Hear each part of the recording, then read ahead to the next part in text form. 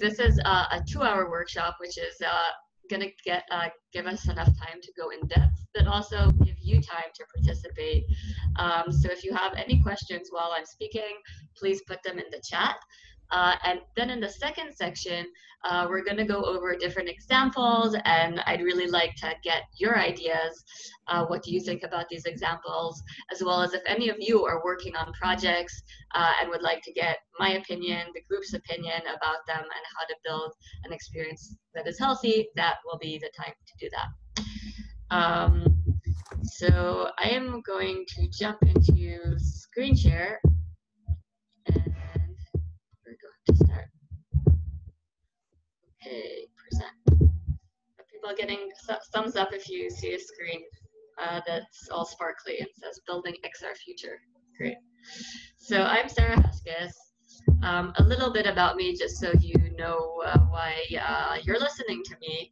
Um, so around six, five, five, six years ago, I opened the first uh, VR lab in my university. Um, funnily, funny enough, they had a VR headset, but it was in a box, right? Universities are very funny that way. They have budgets, but nobody's really progressing with technology sometimes. Um, so I opened a VR lab in the motor control department. I was studying in the Netherlands, and I focused my research on uh, VR's effect on our brain and body, and can we use VR to teach ourselves movements in a more effective way. Uh, currently, I'm CEO of Radix Motion. We're a small startup, and we're combining uh, my research with immersive technology, both virtual reality and augmented reality. Uh, and um, I'm going to uh, show you one of the projects we're building as a use case uh, towards uh, the middle of the section. So let's start with one of the biggest problems I see today with, with our um, general population. our, yeah. Sarah, there, there are some parts uh, being blocked by uh, gray box. Uh, did you see it? Gray box. Yeah, like the vertical gray box and then the horizontal one, like pretty much covered. Blocking text. Yeah, blocking all the text. Like there are some stuff maybe on your screen. You probably need to. The only thing on my screen is also the Zoom thing. Oh, the Zoom thing. Maybe you probably need to kind of, yeah, kind of like, yeah, yeah, yeah yeah disappear some yeah better maybe dra- drag it down to button so now i don't even see my zoom oh yeah because i think that thing will become a gray box and cover your entire pre- like if you can see my my screen i'm sharing a picture for screen right now okay let's try to stop the share and restart it again this is interesting um I can try again optimizing for a shared video clip. Is this better? Uh, still cover like the the left part still covered half That's of the text. Yeah, that one. Testing. Okay. Moving. Zoom is very weird. How about this? Better. Yeah, better. Better. Okay. Thanks for letting me know. Yeah. Thank you. Um. Okay, so yeah, the problem with our current uses of technology, except for the fact that nothing makes sense, um, is that it isn't aligned with what our body needs. So uh, let's start a little bit with what our, our body does need. Um, so our body needs to really move and it needs to do it a lot sitting in front of chairs and desks all day is really, really unhealthy for our bodies. And just to put a little bit of some amount of numbers uh, on this, uh, the cost per per employee in the United States due to back pain is around $444 a year. Um, the levels of obesity in the United States have increased to 42%. Both these things are very correlated to how much we don't move. That's a huge problem right now. Um, the second thing that we need as humans is to feel connected. Now, social media is actually correlated uh, with depression, anxiety, and psychological stress. You can see, um, except for YouTube, which isn't exactly a social network, it's more of right a platform where creators uh, showcase their creation the classic social media platforms are rated here by how negative of an effect they have on people. So strangely enough, we're seeing that while digital connectivity is growing, so is loneliness. There's really something very strange happening here. We have more connections than ever before, but anxiety and depression are growing. So, what's going on? Why is this technology not being healthy for us? Um, and this is where the neuroscience perspective comes in. Now, what our brain actually needs to build a connection is physical mimicry. We see this from the way a child connects to a parent. They're constantly looking at them and copying them. And there's this feedback loop that happens. The parents start mimicking the child too, uh, even in their facial expressions when they talk. Um, you see this in the games children play, right? Things like Simon Says and um, I don't even know, patty, patty cake, I think, right? These very simple games that are all about and without this mimicry, this physical uh, uh, ability to copy each other, we're losing that basic connection and that basic um, ability to feel empathy to, towards each other. So um, it's not all bad because uh, of the lecture we're, we're here to learn about because of XR. Because XR is the first time we have a technology that can actually enable us to start uh, being in 3D, to start mimicking each other in 3D and bringing back that uh, 3D empathetic connection. Um, so that's what uh, I'm really excited about, and that's why I decided to really focus um, my career into this technology. Um, now let's take a step back. So we know XR offers us hope uh, because we can use it to actually create empathetic connections with each other uh, and and move our bodies. Um, but i want to take you because we have a lot of time let's talk a little bit more about actually brains and what do brains do. So a brain really does not have any access to the outside world. Um, it's this processing thing that's stuck inside of our skull. Uh, we have a brain blood barrier there's no actual direct information that's coming from the brain to the brain. It's always going to our senses, going onto our spinal cord, into our thalamus, and then goes uh, to higher levels in the brain's cortex. Now, the theory I want to talk to you about is called the predictive coding theory. And this theory looks at the brain as the prediction machine. The brain is const- constantly trying to guess what is causing these sensations, right? The brain just gets all these signals and is trying to guess what's out there in the world, um, what is causing these sensations, so it can actually make calculations about what to do. Um, and the evolutionary perspective here is, is quite simple because if you don't actually do this, right, if you don't know what's going out and are able to guess uh, what situations are healthy for you, you're going to find yourself uh, in very unhealthy situations, like a fish out of the water, or um, this cute, cute kid um, from, I think he's a Snoopy, right, um, inside of water. So what predictive coding actually uh, uh, shows us is that your brain combines two sources of information. Whatever is coming from your senses right now, at this moment, you're hearing me, you're seeing my face on the little screen, uh, you're also feeling your body in space. Uh, you're also uh, getting internal sensations of your breathing, uh, your proprioception, where your body is in space is being activated. But all this information is actually being combined with everything you've learned in the past. Uh, in neuroscience, we, we call this uh, priors or um, biases sometimes. There's a lot of different words for, for the same uh, concept. Uh, and these two sources of information are constantly, um, sorry, um, combining each other. And what is actually happening is that the past information is turning off the present um, sensations. And a little metaphor I really like using is the sandcastle metaphor. So if you imagine your brain is building sandcastles, that our reality is actually a creative process. The castles, uh, the buckets themselves, are like your brain's priors, your brain's previous knowledge. And the sand is whatever is coming into your brain right now. So your brain has these buckets and it's constantly trying to build castles from the sand that's coming in all the time.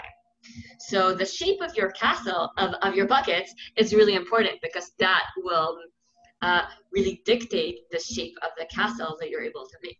So these priors and our past knowledge are really, really important to how we perceive reality moment by moment. Um, so again, the buckets are our top-down priors and the sand is the incoming signals coming from your brain. Now I want to give you a little bit of a, an actual example about how this works for you so you can feel it. Um, so if you see here, we have two images of Margaret Thatcher upside down. It's a very famous visual illusion. Now, these are the exact same images of Margaret Thatcher, but I've just flipped them over. Um, hopefully, all of you see a very big difference right now. The image on the left looks really distorted. So I'm just going to go back again. Upside down Margaret Thatcher, not upside down Margaret Thatcher. Why is this happening? So we have much, much stronger models, much stronger priors about faces that are looking upright. All day we go along, along, you know, now maybe a little bit less because of COVID, because we're not seeing so many people. But even now, every person we meet, uh, almost always we see them straight up, not upside down. So we have a very detailed model of upright faces. Um, so any little change, anything that's a little bit weird in an upright model, we will immediately feel the prediction error. Our prediction will immediately not fit the sensation that we're getting. But when it's an upside down face, the priors that we have are weaker. They're not as detailed. So when there's little changes there, our brain doesn't even perceive it. So this is a little bit about, uh, um, I wanted to give you a sensation about actually how much these buckets affect our perception on a really, really basic and, and daily level all the time. So now let's go back into um, XR and uh, uh, a little bit of a focus on VR, but very much of this is also going into um, augmented reality.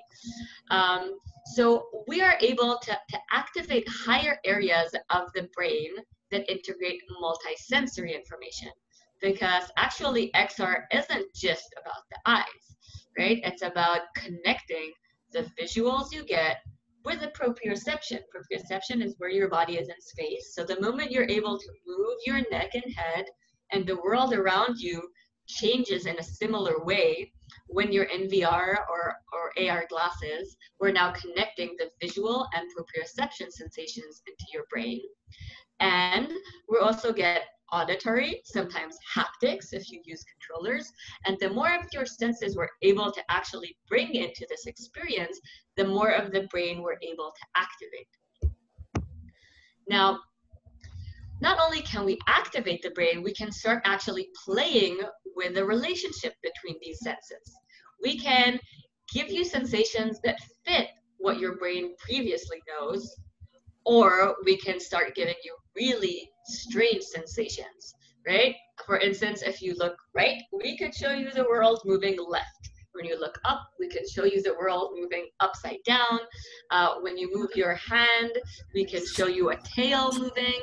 And we're going to get into more examples of that. But as designers uh, of uh, XR um, experiences, we have a really huge amount of power to control what the person in these experiences is going to sense and feel. And if these experiences are very different than what this person is used to, that's going to create a lot of novelty, a lot of prediction error, and that induces neural plasticity. So when we think about uh, XR experiences, I want you to start thinking about what in that experience is based on the person's known reality, what is the normal, right, quote unquote. Um, but what is the thing the person is used to, what is familiar to them, versus the novelty that you're inducing? What is the new reality you're bringing into this experience? Um, now let's see really uh, uh, how much of an influence this can have on people's uh, low level perception of what is themselves. Okay, self is a, is a very interesting concept because it's very plastic actually. And with just a, a, a little bit of manipulation, we can really create um, different experiences for people that change their sensation of themselves. Now, this is very normal. Every time, you know, we wear different clothings or use different tools, these tools become an extension of ourselves. We stop feeling exactly where the clothing is rubbing on us. Uh, most of us, unless, you know, some people do have uh, sensory issues, um, and it then becomes a problem. But for most of us, uh, we're able to be very plastic about what is our physical self. Um, an experiment that they do, uh, you might have heard of this, is uh, called the rubber hand experiment, where they take a rubber hand and they touch it at the same time and frequency as they touch your own hand. Uh, what this causes is very fast this person starts feeling the rubber hand as their own hand and they see actual biological um, uh, evidence for this because they take a big hammer and smash the rubber hand and see how the person's uh, heart rate spikes. So it's not just um, uh, a, a, sort of subjective feeling, but you also actually have biological metrics that you can measure the connection that's happening and how your body is changing just by connecting these two senses, right? The visual sensation together with this um, haptic sensation on the skin of touch. Um, now, we can do this in VR. We can create people, and we do this all the time by giving them, right, different avatars. You're in a different avatar that is now moving with you um, and you're you get a sensation both from your visuals and your haptic movements uh, and people really start identifying with their avatars so this is something that we need to be really aware of um, when we're creating uh, XR experiences that have avatars in them.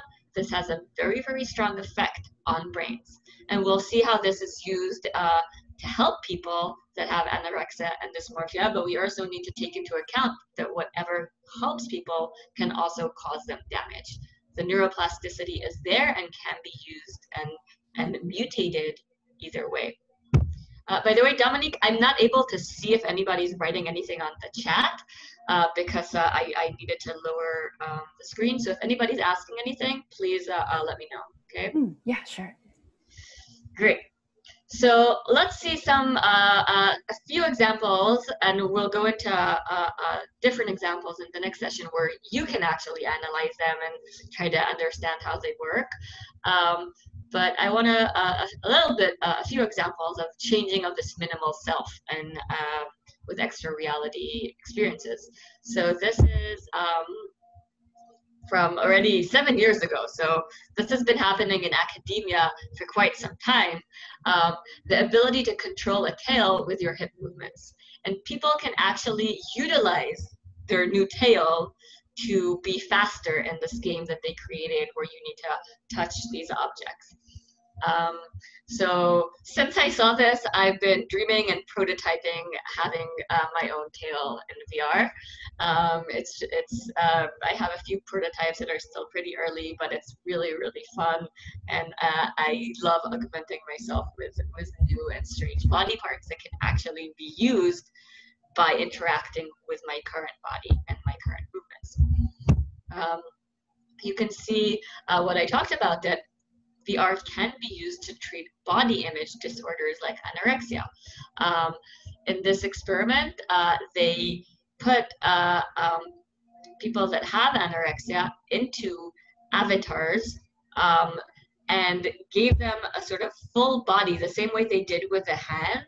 They gave them, they did the same thing with a body, touching the person's body as the person saw the body being touched in uh, VR and that the people got a very strong identification to the new avatar to the degree that it helped them remap that their bodies were not overweight. They were able to actually um, sense that their bodies were uh, um, uh, slimmer um, and, and proportions uh, um, that were more accurate because that's a big problem that happens with people that have anorexia. They, they constantly feel that they're overweight. Um, a, another really, really interesting example was that this helped uh, heal even spinal cord injuries. In this experience, um, uh, ex experiment, uh, they put people in VR that uh, had spinal cord injuries and they could start seeing themselves walk. Now, this was part of a bigger intervention, uh, but these people actually regained some of their ability to walk by uh, also being part of this VR experience that just showed them their ability to walk. And we know this a lot about athletes um, and people who train a lot that the visual is really, really important. A lot of visualization techniques really help um, people that do professional sports, and we're going to get to that uh, in a second because that was more of my research.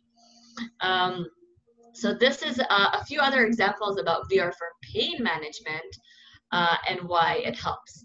So on one hand, we have the normal distraction therapy, uh, where you go into VR and instead of actually seeing uh, the nurse put a syringe in you uh, or perform some type of procedure, you're just in a different place.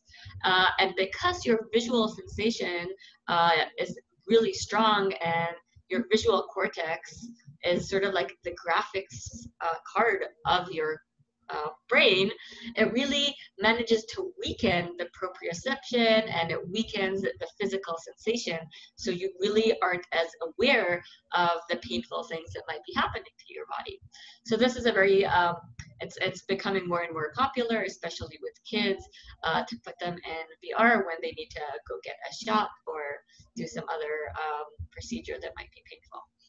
Um, Another thing that's being used is something that's called mirror therapy.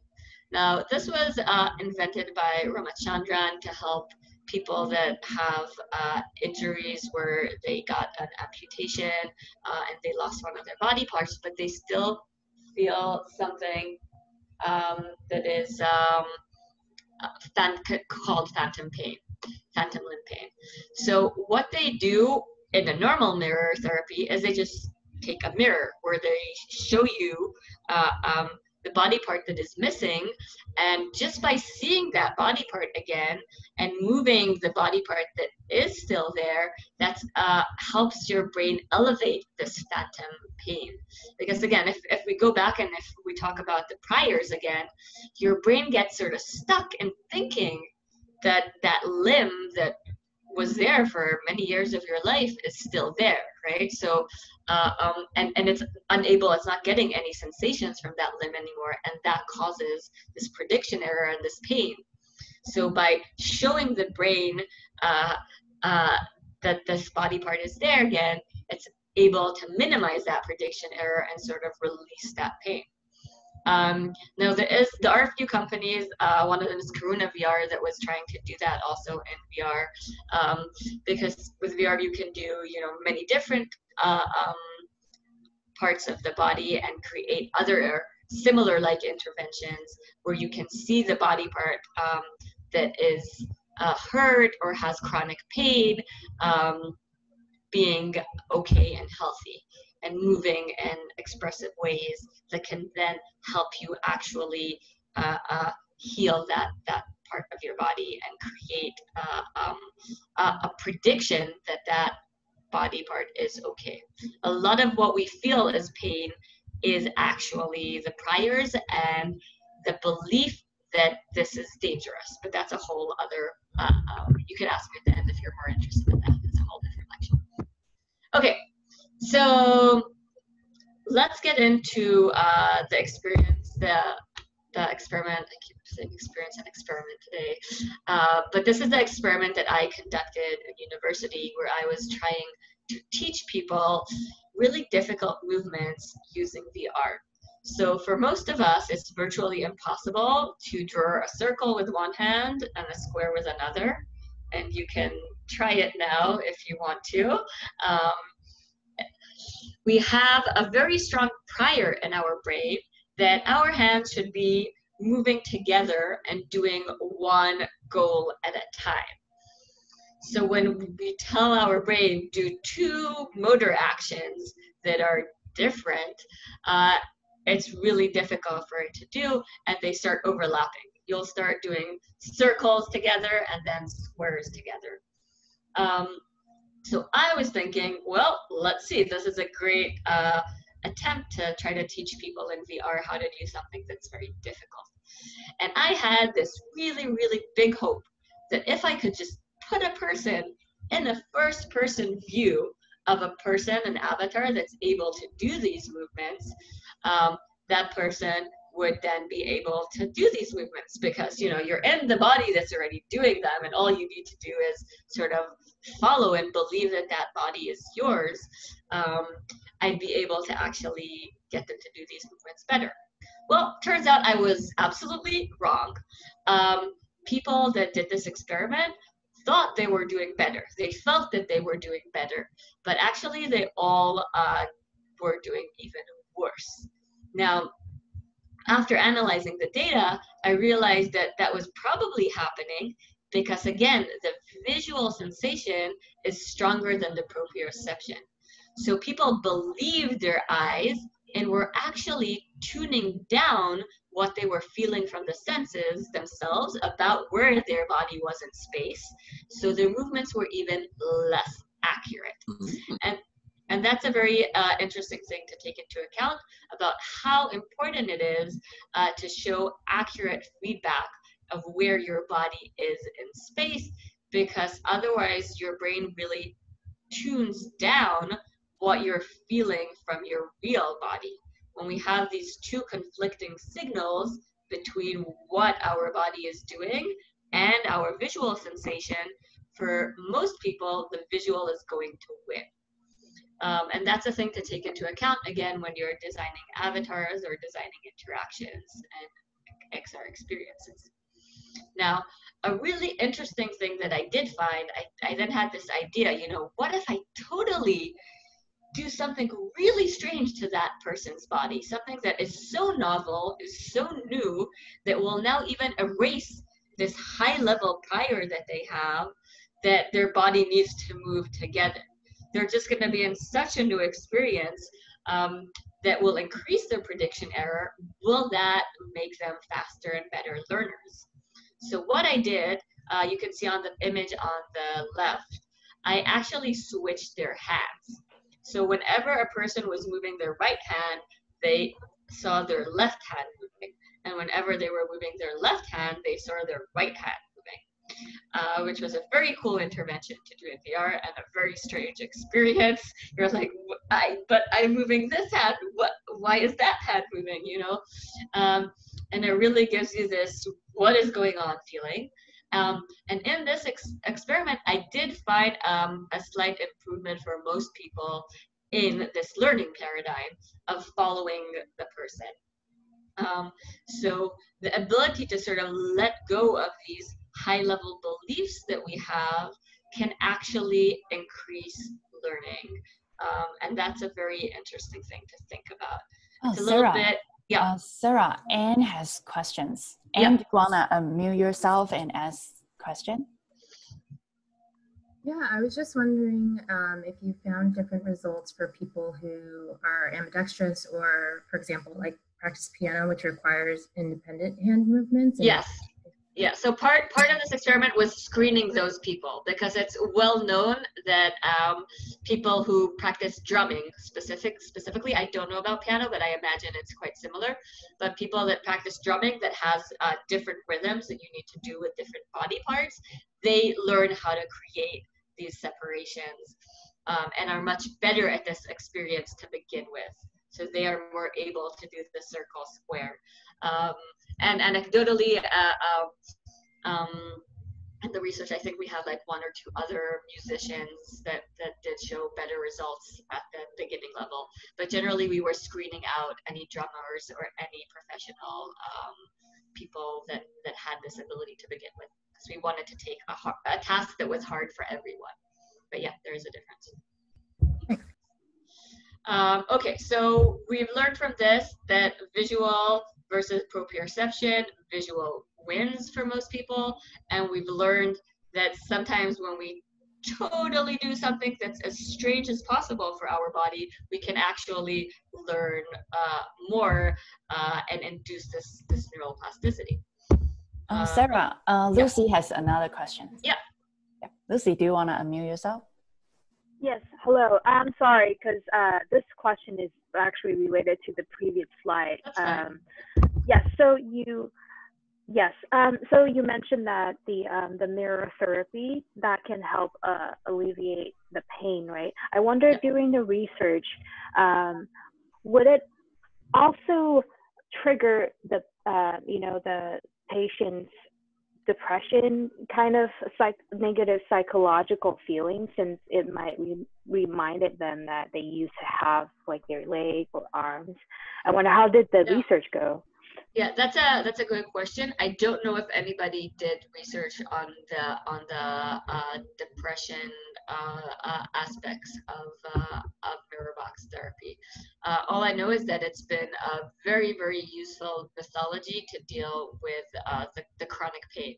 So I would imagine that once the chronic pain is, is removed, that helps elevate some at least of the, the depression because chronic pain has been shown to be one of the most difficult things to uh, uh, or one of the biggest contributions to, to deep depression. If you're constantly just in pain it's very hard to have a positive outlook on anything right um, but I don't know if specifically right. I can understand your question, like, oh, remi- remembering that you once used to have a hand or leg right. bigger PTSD or things like that. I don't know yeah. about any research. That's a very good question. Okay. All right. Thank you. yeah, you're welcome. Um, okay. So now we are around yeah almost 40 minutes into this. So I'm gonna uh, show a video and I'm gonna take some stretches too while we watch this. This is a bit of a summation video that we did um, to explain uh, what happens uh, to your brain on VR. So I'm gonna play it, it's a few minutes. VR is becoming a new mass medium. By 2020, around 76 million headsets are predicted to be out there. What makes VR different than just watching TV or playing a computer game? For that, we have to take a moment to understand some things about brains.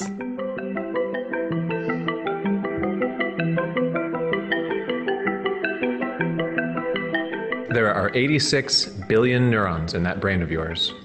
What are they up to? According to the predictive coding theory, the brain is a prediction machine. The brain itself doesn't have direct access to the outside world, but it tries its best to guess what's going out there by combining two sources of information. The first is whatever is coming in from your senses right now, for instance, your eyes and ears. But that is very noisy information, so your brain combines that with whatever it has already learned. In cognitive neuroscience, these are called priors. This means that past experiences actually affect your here and now. All of the now and your memory, from taste, touch, smell, sound, and sight, signals to unique hierarchy, become combined guidelines to your reality. An important sense most of us were not taught at school is called proprioception. Proprioception is the sense of the structure our body has in space, and it's a big part of what makes VR special. What happens when you move your head in VR? Well, that's totally up to the designers. Your brain is getting proprioception information that interacts with the visual information, so higher brain areas are being activated but the designers have control over the incoming visual information. Will the present information fit what you already know? Will you just see the stars when you look up, or will a dancer grow together with your head movement? Or maybe, when you look up, we will show you down. Careful, some of these mixed signals can confuse your brain, causing nausea. Nausea is triggered when the visual information doesn't fit the proprioception information coming from the pressure sensors in our inner ear. Our brain isn't sure if we're moving or not. VR headsets need to refresh around 90 times a second for these information streams to agree. Some poisons will cause the same disruption between our senses, so nausea might be your brain guessing it should be empty the stomach from poison. The greater the number of senses that are activated when you become present in virtual reality, such as ambisonic 3D sound or haptics, the feedbacks you receive when you touch VR objects, the greater the virtual reality experience has on your cognitive and emotional responses. You can embody different characters and perspectives that might help you understand another person better. You can totally replace your body with an environment that is correlated to your movements. You can face your fears in a controlled environment. You can learn from experts in new ways.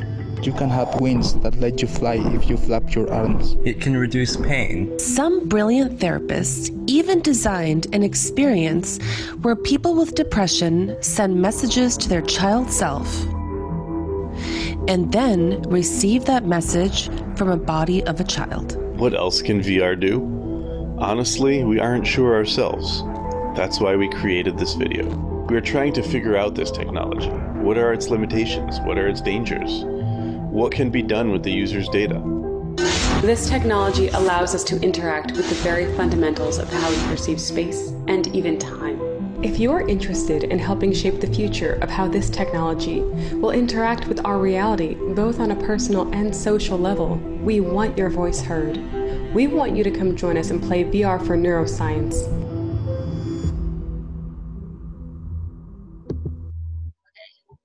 So this is something, uh, the first iteration of my company. Uh, we sort of pivoted, uh, but we still have this uh, awesome video.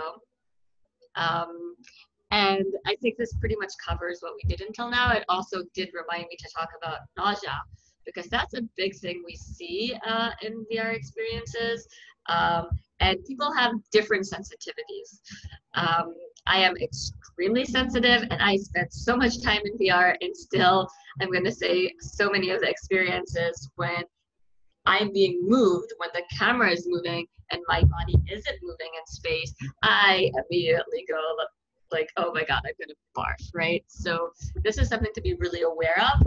Um, some gamers have less problems with that, uh, but it's a very, uh, you want everybody to be feel, feeling comfortable in your experience, you really need to let them move themselves. There's some tricks you can do with this. For instance, putting people um, in a car where they just have a little window um, and generally blocking the peripheral vision uh, and just showing the central vision will cause less nausea. And we see some experiences uh, um, do do that in a, in a good way that prevents nausea. Okay, wait, oh, wait. VR is becoming So we're moving into the second session where we're going to go through examples. Uh, some of them we briefly touched about, but we can go into more depth too. First, I'm going to showcase uh, Meu as a case study. This is the, the product we're building. Then we're going to look into a little bit about the, uh, the depression treatments that are happening in VR. We're going to look at something that's called Paint with Me, which is a really awesome uh, experience that I person I know created. And then we're going to look into more uh, uh, common and known experiences like Facebook Spaces, uh, uh, something that's called Spatial I/O. And if you have anything you want to share with us, either projects that you're doing or games that you're playing, uh, we can do that. Now, um, and these things, I'm gonna ask you also questions. Like it's, it's. I, I, I want us to now practice, right? We've learned a lot of these um, basic ideas about what is healthy for the brain, what our body needs, and how uh, XR affects these things. And I'd really like us to, to try to analyze this together so you use that data that, that you've learned. Um, okay, but first let's give you a quick case overview of what Meu is and uh, why I'm dedicating so much of my life to try to build it. Um, so Meu is a new form of communication where you get this 3D giant puppet in VR that you can puppet and follows your movements, and then you can send these 3D expressions to your friend. You can also do it from a mobile phone uh, by uh, putting the mobile phone in front of you, copy it copies your movements again and sends them into AR space or into VR. So we can do this cross-platform from VR to uh, newer mobile phones and also to GIFs. And I'm very excited about it because uh, it actually gets people to move.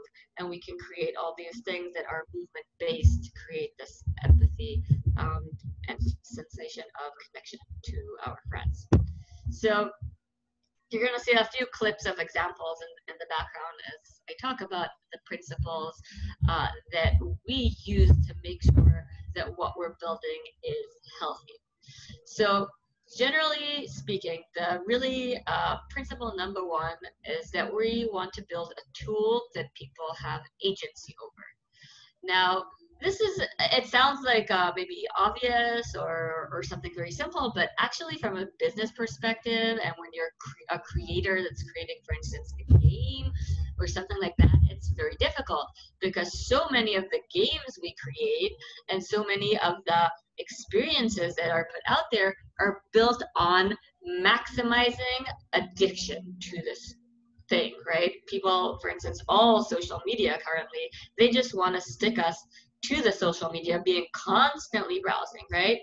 Um, most games that you play want you to just be constantly playing them. Um, and a lot of this has to do with the advertisement business model.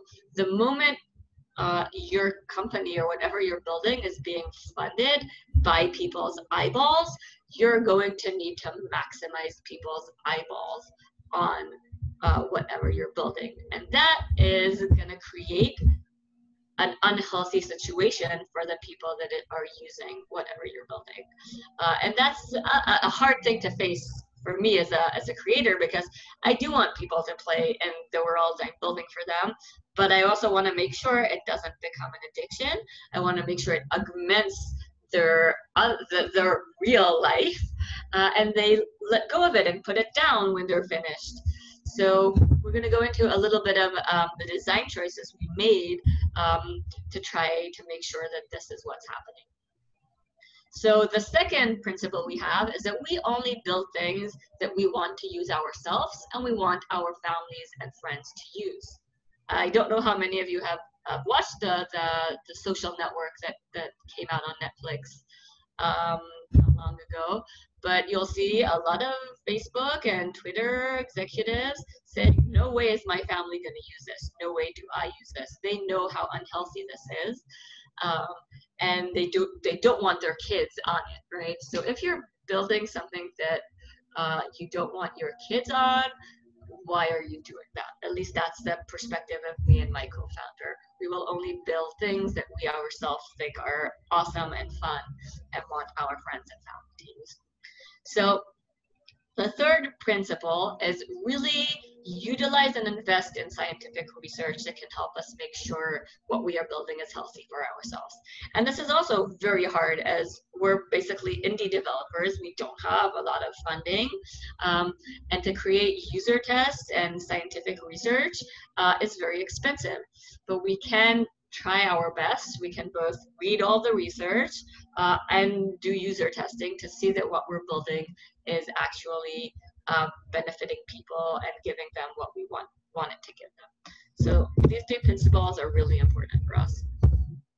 Now, let's go into some of the design choices that we made. So first, let's talk about physical health.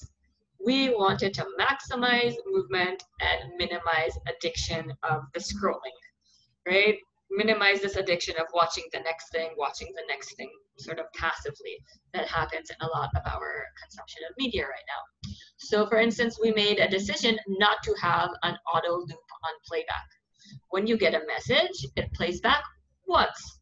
If you want to play it again, you need to take it out of the playback and put it back in the playback. So you need to take a physical action with your whole body to replay the message again. So you have all this time to change and decide what you're doing with the message. If you're replying to it, if you're quitting the app, it's, we give your brain time to make that decision and have agency. Uh, because this auto loop is really taking away people's agency because it's just like, okay, the next thing, the next thing. And we see that on TikTok, on YouTube, um, so many other applications that just keep Netflix, you know, the next thing just autoplays. Um, the next thing we decided was that phone notifications will be off by default. If people do want to constantly get a notification, they, they can opt into this. And again, we're still building the apps, especially the AR app, it's very new. Um, so we don't even have any notifications uh, for phone right now on the app, only email. But when that feature comes out, uh, they, it will be off by default. Uh, the, the next thing we did is that our whole UI is based on movements that require you to stretch and are slightly different. So the placements of, um, if you can see in this video a little bit, there's an orb that you move from record to playback to send uh, to the more options to home. So every interaction you're doing is in some way very natural. You're taking a thing and putting it somewhere. We sort of mimic the old diskette use or uh, playing a, a, a CD or an album right? There's an actual object that you move around. That's what our bodies are used to doing. That's what we're supposed to be doing versus just like pressing a button on a controller that only uses your fingers. And we even had these UI elements are slightly moving with a little bit of uh, um, change based on where you are. So they're not always in the exact same space. So we give you slight movement varieties. And uh, we always make them based on your height. So the send button will always be in a position that you need to actually stretch to get to. And for me that's always really nice to see how people are like oh wait and then they they do they stretch and they get to, to the send button. Um, so by creating an environment that requires people to utilize more of their body movements we're able to just increase people's movements um, just by playing. Now, the game itself is, of course, all about dancing and movement, but even in the UI, you can create a UI that's healthier. Um, you can also see, for instance, the keyboard that we have here that's also these movement keyboards instead of the remote control keyboards. Um, so everything in the UI is based on, on increasing movement. Next, uh, what we did is we wanted to really have a design that uh, prevents anorexia and dysmorphia. So, um, and this is such a big issue with social media, with everybody wanting to look sexy and you know these filters on your face and body that always give you um, a, a, very uh, for especially for young girls it's just pretty terrible the over sexualization that they go through um, and and affects their self-esteem so much so instead, we wanted to make our avatars crazy and fun and strange and something that lets you express your inner self. Now, our plans for the future are letting people bring in their own avatars, their avatars, helping them build their own um, modes of expression. But uh, for us, it was very important to start with um, things that are uh, different and strange and a, a, very unique particle system too that lets you have even only particles. You can just be 20,000 particles in our system and not even have a body. Uh, Sarah, so, yeah. Uh, I think Hadashan has another question. Yeah. Uh, do you want to unmute, unmute yourself?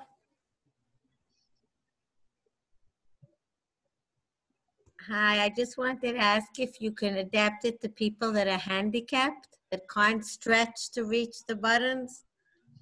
Uh, I think I, I recognize your voice, Mom. Is that you? Hi, thanks for joining. Um, so yeah, that's a great question. So what, one thing we did do uh, for handicap is you only need one hand. Um, and definitely that's a good thing to think about of having some type of form that um, lets people bring uh, the buttons closer to them if they need to. Um, that's currently not something that, that we support, but definitely a good thing, especially since you're trying to connect me, I know, to uh, uh, use this more for the older population that might not be as mobile. Uh, but the stretch is a minimal stretch. It's not like you need to be on your tippy toe, but it does require you to uh, go above your head. So the button will always appear above your head uh, in a place where you need to reach for. Yeah, so th thanks for that. Um, okay, so uh, the second thing we're doing for body dysmorphia to prevent that is having uh, a third person puppeteering. So instead of when you're especially in VR, you're not looking down and seeing your avatar you're puppeteering the avatar from a third person. Uh, and that's something that you know we've been doing for generations and generations since humans were were um, uh, before pre-technology we were puppeteering and shadow puppeting. So this is something that our brain is much more used to um, and won't create so many competing um, um predictions and competing sensations with what you know your body is right now. Because we envision this you know if people are going to use this a lot then we don't want to give them this false sensation of what their body is. Um, okay now uh, some of our choices about how to create a design that increases pro-social connections. So all of our games are based currently on joint actions and mimicry so you can play games like blowing kisses and your friend needs to catch them. You can play a game that's actually a mimic game where your friend does a movement and you need to follow that movement and you get a score. Um, we could very easily have created shooting games uh, with your body movements, but we decided to start uh, with things that are pro-social because we want to balance out uh, all the violence and all the shooting games that are out there. And I love some shooter games. Don't don't get me wrong, but I think if that's the only thing we're offering um, humanity, especially teenagers, people. Um, it's a it's a problem. We need to offer different types of things. We need to offer pro-social and uh, joint action is a term from neuroscience when you're doing something together because this is what actually creates uh, this empathetic bond connection with, with friends. Um, another thing we're building into the system is something we're calling snowflake messages. Uh, part of the problem with social media currently is it's so not special, right? You get this heart emoji from your friend. They probably sent the same heart emoji to 10 different people that day. And that flattens out this uh, authenticity uh, the connections that that you have with a person. So we want to create messages that you know you're the only one that received them. And I want to know that if I get a hug from the person that, that cares about me, that hug was made uniquely for me. That person moved their body, their whole body, not just their little finger, to actually um, give me a sensation of love and care. Uh, and I think that just knowing that and receiving that special thing that was made only for you um, can really help in some of this flattening that we're seeing uh, happening to social media today, uh, where just like the same meme gets sent out to everyone. Okay, so now uh, let's take a deep breath and shake it out because now I'm going to actually be uh, asking you things uh, based on what we learned today. If you can try to help us figure out some of these experiences, uh, tell us why you think they're healthy or helping, or if you see things that are unhealthy uh, based on what we've learned today. So I will describe this experience again because we went over really briefly um, in the video. Um, this is an experience where people that were resistant to depression medication uh, and suffering from very ser serious depression um, went into VR. In VR, they encountered a crying child, and they were there with a therapist. And the therapist encouraged them, "Can you please uh, help this crying child? Can you try to calm them down?" Um, the person then did that. And the second part of the experience was the person went into VR but this time they were in the body of a crying child and they could see their own avatar that they were in just moments ago was now in front of them and um, creating the same movements that they did using the same voice the same words right that they did towards them. So basically when that parent when that person was an adult all their body movement voice was being recorded and then replayed back while they were being in a child body. So do we have anyone that's uh, willing to maybe analyze why uh, why this uh, worked so well? Um, so th th this experiment actually showed amazing results.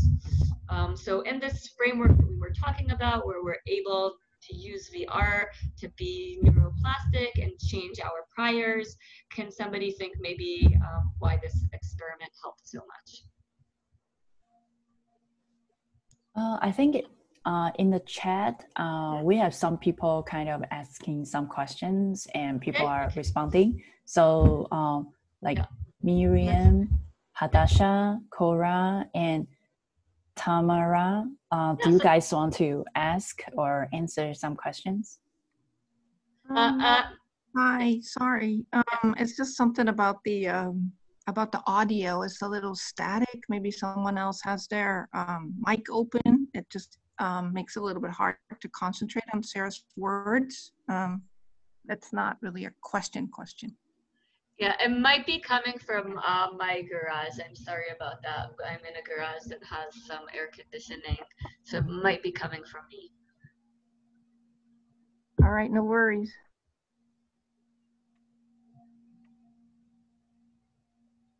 Yeah, anything else?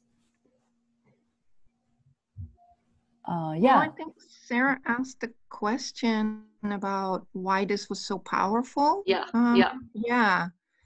Well, I think maybe actually seeing the child, like, um, you know, I, I know this is done in therapy sometimes or in writing, and it's very powerful then. But like to actually see like a child person that might represent you could make it that much more powerful. hmm Yeah, that's de- de- definitely one part of it is um, seeing uh, someone else you're helping. Sometimes it's much easier to help someone else than than to help yourself. Um, anyone else want to postulate a little bit about why this experiment was so successful? Uh, yeah, I mean, like before I read a book, it's it's it's like um, uh, VR can totally teleport us to another uh, different environment, and then uh, change out the way that we perceive the world. Uh, and one of the chapter he says that uh, they have another kind of like test, te- uh, test like the experimental um, VR stuff. They make they put um, the the user into different avatars. For example, like they change they they put a white people into a black people's body, and then later on like experiment uh, like how black people see the world uh, inside the VR world. And after that, the the the, the white user take out the um, the headphone uh, like the headset and start saying like, oh yeah," because I start aware uh, of myself as uh, kind of recognize myself as black pe- person then i start being more empathized about black person because i start thinking like them and i start thinking like how people perceive me. And then uh, the person like the user start thinking differently and translate her thinking into like totally inside the person's shoes. So yeah yeah i don't know whether this is So that's a great example. That's a, a different type of example, but it's uh, ver- it's similar in the effect that we really can mutate our sense of self, right? And the experiment that you're talking about, um, just putting uh, a person into a, a, an avatar of a, a, a black person was able to mutate and change their priors, their previous knowledge about, about how they experience the world and feel more empathy towards people uh, that, that are uh, black and need to deal with uh, racial biases and racism. Um, so in this experiment, uh, the bias that they were trying to change, so many people with depression, uh, their their trauma and depression comes from their inner child, from a belief inside of them or a trauma that happened when they were very young. Now it's very hard to to change that uh, child trauma, that belief that happened when you were very young in your brain. It, it can be a very very strong belief.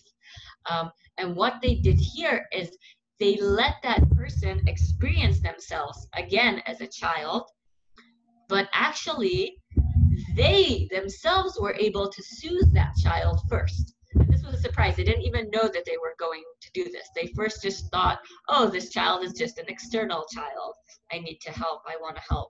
Um, and they did that with their own voice and their own body movements. Then they went into the body of this child uh, and received that. And that way they were able to actually change that uh, previously hurt belief and prior that was stuck in their brain and calm it.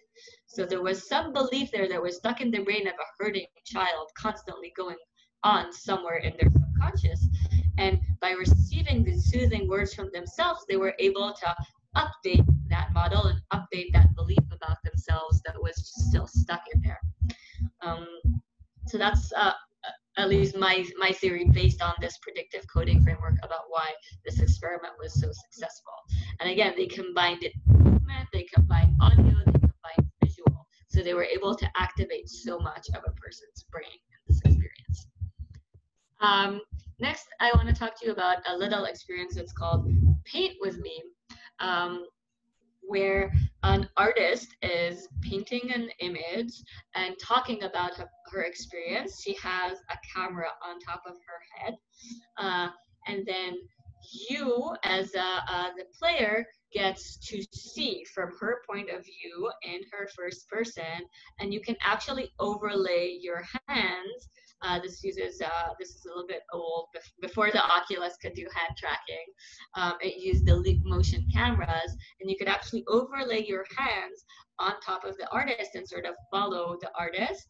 Um, and also follow her thought process about how she's creating the art.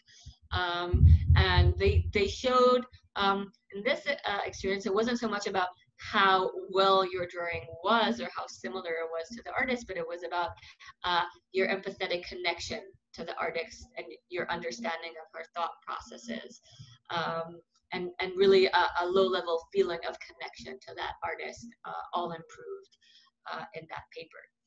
Uh, so does anybody want to um, think out loud why this ex experiment was uh, so successful in building that empathetic connection? Based on what we talked about?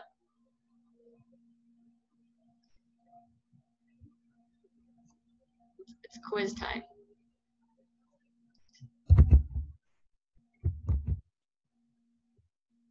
Nope, no one?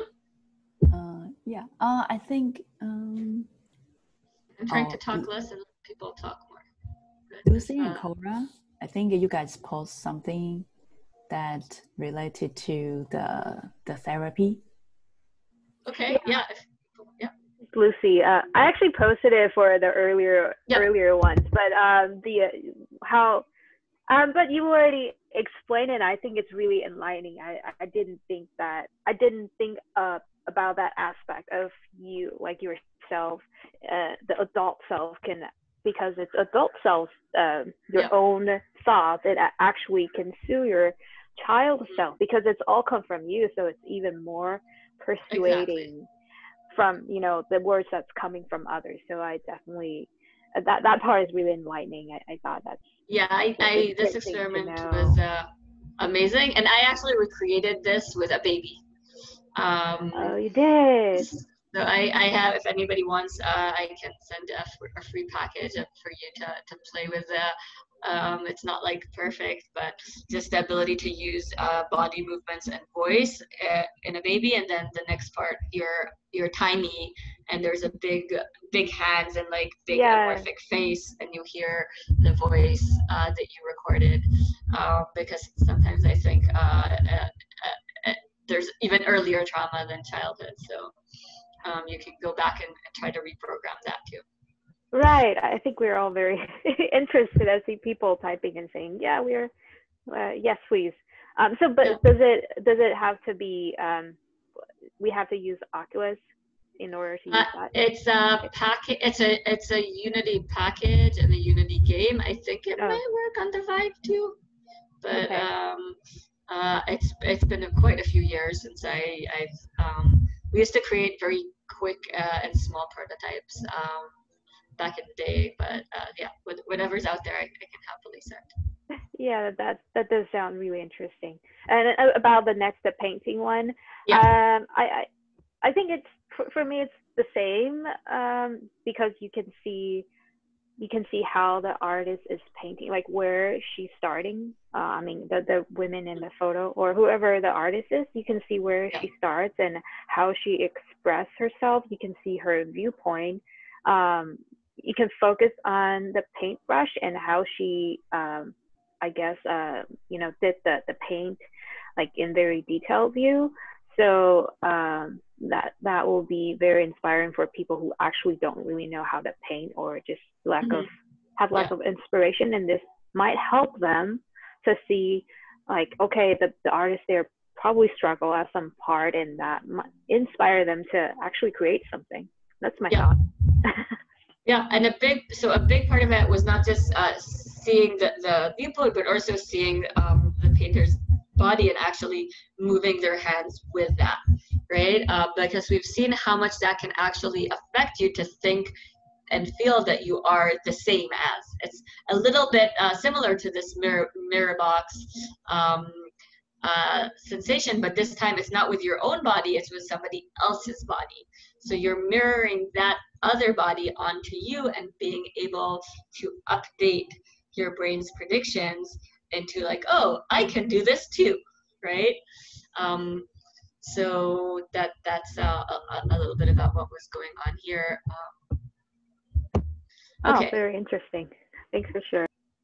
So um, now we're going to go into uh, some uh, more common experiences and we're going to watch we're not going to watch the whole uh, little video of this but just a few seconds of the intro of facebook spaces um, ha, have any of you been in facebook spaces so annoying that i can't actually be and see what you guys are voting otherwise i block your screen but um, These are my friends. This is my quest.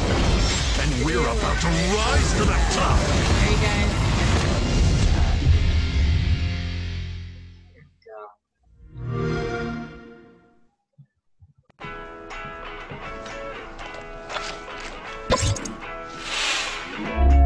Hey, sis. Hey, Jack. Are you all excited for our trip? Yeah, and look what I found.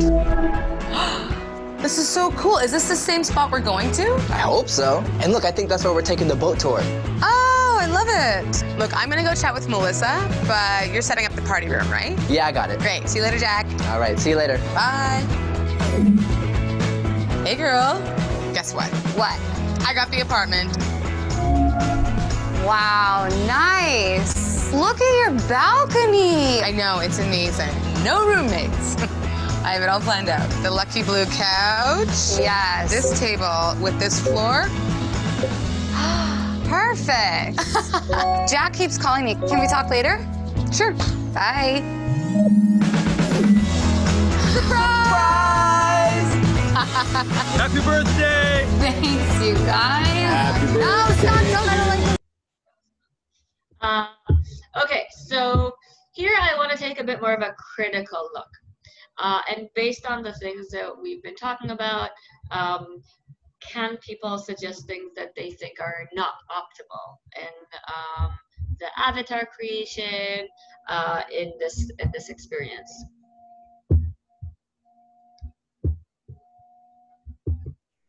Okay. Um, anyone else want to answer that? Uh, so you want to uh, ask us? I want to ask. Yeah. Yeah. Do you see anything that's unhealthy in this avatar creation um, that Facebook Spaces went uh, and, and created, based on uh, the things we've been talking about um, for avatar creation and dysmorphia and all these things? Yeah. Uh, I think Cora has some answers. Cora, do you want to unmute yourself? Oh, um, I don't act. I was just saying it's not the most realistic, but um, I don't know much beyond that. I'm sorry. Yeah, no, that's great. So you're right. It's not the most realistic. Um, so the problems, and I actually sat with uh, the design team of Facebook Spaces, giving them this feedback because uh, they're all very nice people, but they're not necessarily aware of, of uh, the latest research. Um, and unfortunately, they didn't change anything. Uh, they, they, I think they created one extra interaction that I recommended that they should create, but otherwise, all the, the warning signals that I suggested, they did nothing with. But I tried. So um, the biggest issue with these avatars is, uh, as I see it, is their bodies. Everybody is forced to be in a body that looks like a 10-year-old, thin 10-year-old pre-pubescent.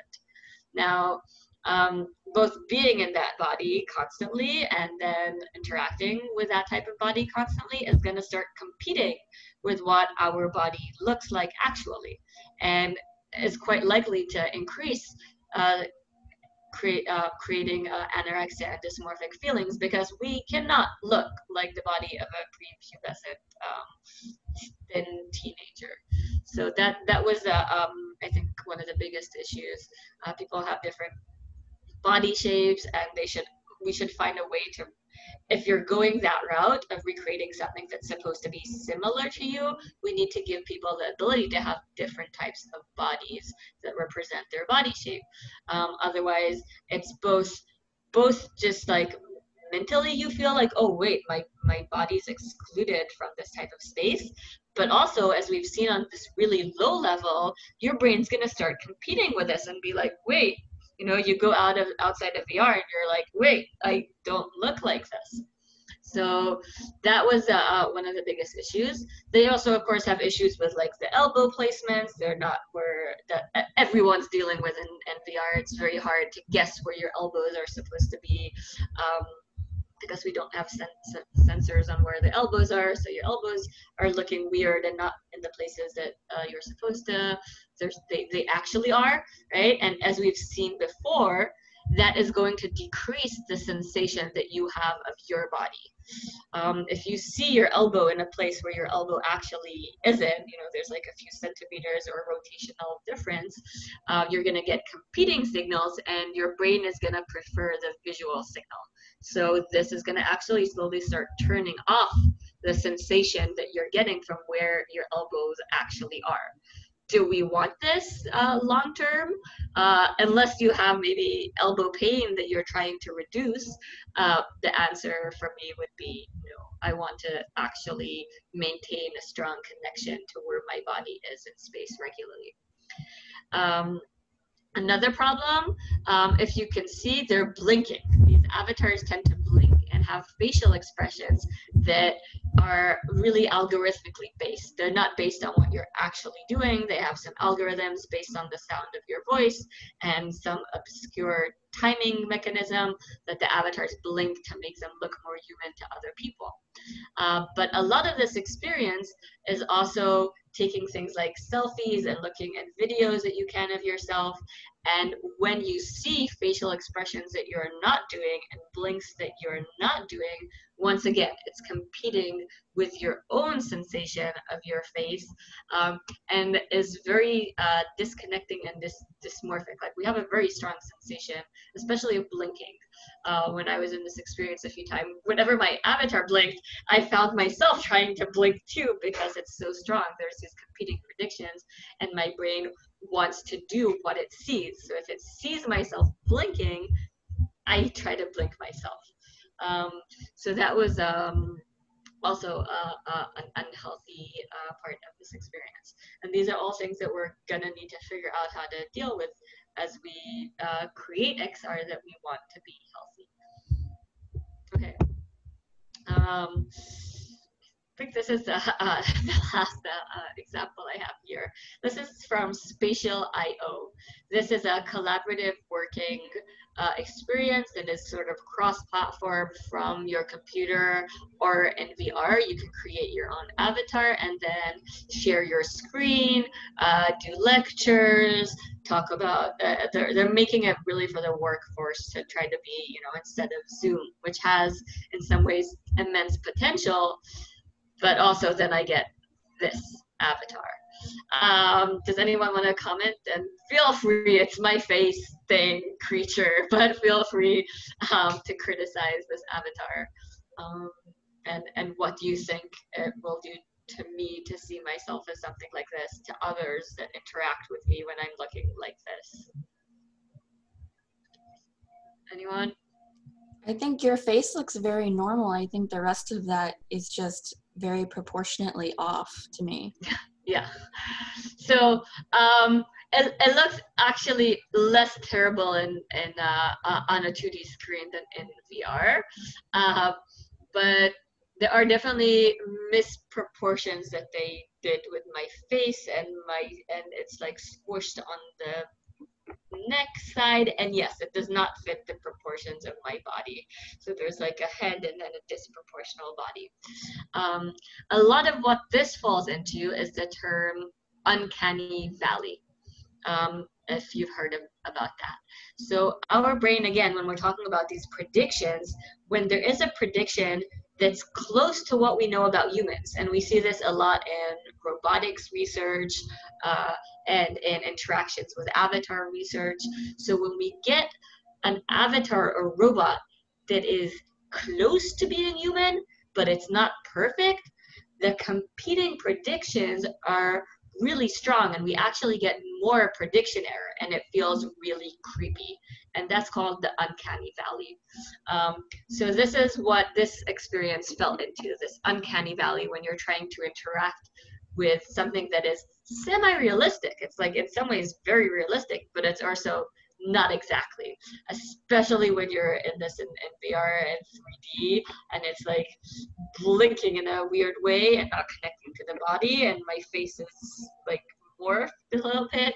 Um, i was interacting with my partner. We were experience experimenting with this and i was really distressed. I love my partner very much. Uh, and I was looking at him and he was like all warped in a way that was really like, oh, what is going on? Like, this is not how you look like. Um, and these are not your body proportions.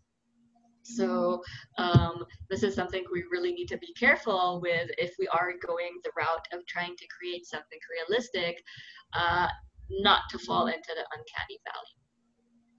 Um, okay, so now it's uh, really your turn.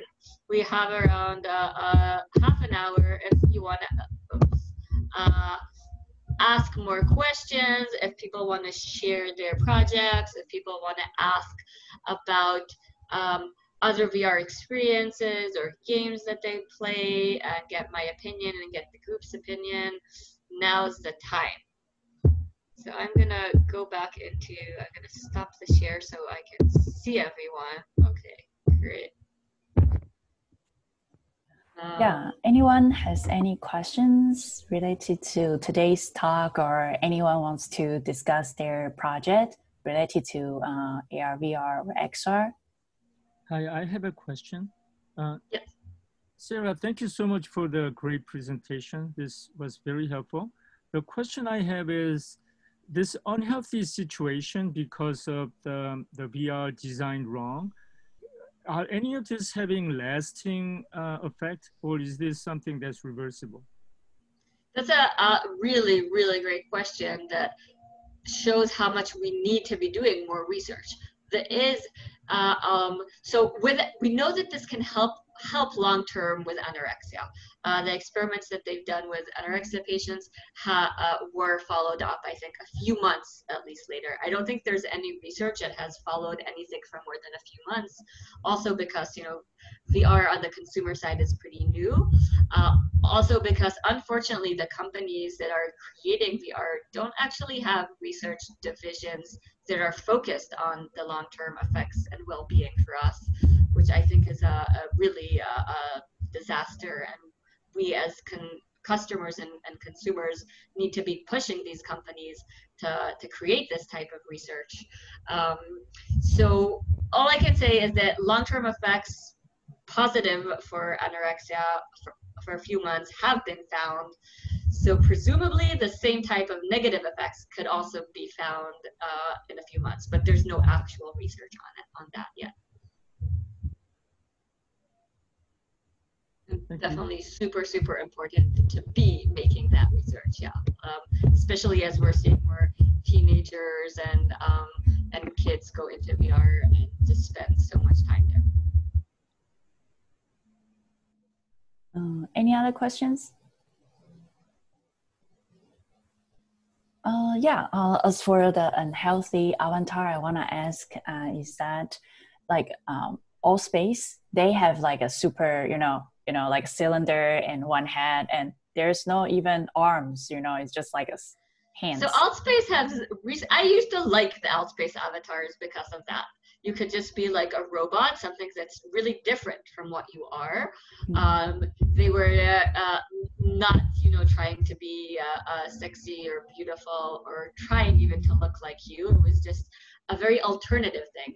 So the mm-hmm. moment you're not competing the Mm. further we get from what we actually are, the less competition your brain has. Um, and then it's a lot more like really wearing uh, this big costume, right? And we do wear costumes and take them off. Our brain can do that, and we can identify with a costume and then take it off and become our normal, our usual selves again. So I used to like the Altspace avatars. Recently, they've changed them. I don't know when you were there last, but uh, I was part of the Altspace uh, uh, Burning Man uh, thing, and I was so surprised. I went into Altspace, and now they have avatars that look very much like the Facebook avatars. Again, this like cute, asexual, young version of yourself. Uh, so I was actually disappointed that they decided to do that. Yeah, uh, yeah, and uh, so so you prefer like uh, the avatar look looks uh, like they they don't look like uh, yourself, right? So you won't compete. And then as for Spatial.io, I try um, like I went there like Yeah. one one time or two times, uh, and then I find out that because they use your two D photos, Yeah. uh, yeah so it, it looks weird in 3d space and also when when someone talks to you you can hear the voice and the mouth is not opening Yeah. it's like yeah so something is yeah I think they did change. I think the last when I tried it not long ago, I think the mouth is moving, but you're right. It doesn't. It didn't. It still didn't move very accurately. So there's uh, this like weird thing that happens, and also the audio isn't spatial. So the Oh. person you're you're hearing the audio, but not from where the person is coming from. oh so when they design the space it's not like they put like a, uh audio listener like yeah, um, exactly. I think on that- the avatar they kind of put okay the audio like i at least when i was experiencing it um uh i just heard the audio from everywhere and i was just like wait where, where are you you're i hear you Oh, somewhere yeah, but I i don't know where the person is and you see this um in a lot of uh um vr experience that are multiplayer it's very hard to have a conversation. Uh both because of your the audio just is like coming from Yeah. everywhere and the moment two people speak it's still not well coordinated. And this is very hard technology. Like we are i like comparing the stage we are in, in vr now. As you remember those old big big phones. Yeah. I remember my mom used to have those. Uh, like- I like this huge phone that is just still sort of working, but but so we are really in the beginning days of VR, and that's why I think it's uh, so important that we get as many voices that have knowledge uh, about how to create healthy VR, how to be informed uh, consumers, so we can pressure these companies to build things that are healthy for us from the Mm. beginning.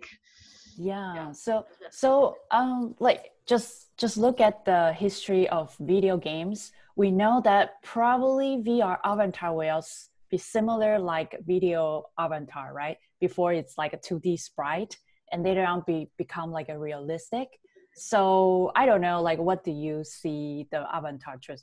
Because like with the technology becomes better because previously we had some speakers and then we know that for example like 3d like some cloud or some you know resolution everything is become better and better each year.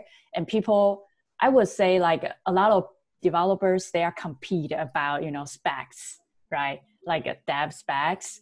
And then so that's why i think people are trying to um, put the best you know 3d modeling like the most realistic one uh, like in the space and kind of like make it optimized so yeah, so do you see this is a trend for the avatar So al- easy to already now, if uh, you know, if you are part of like a, uh, I think Facebook has their own labs where they can take uh, hundred thousand photos of you, not like spatial where you just take one photo.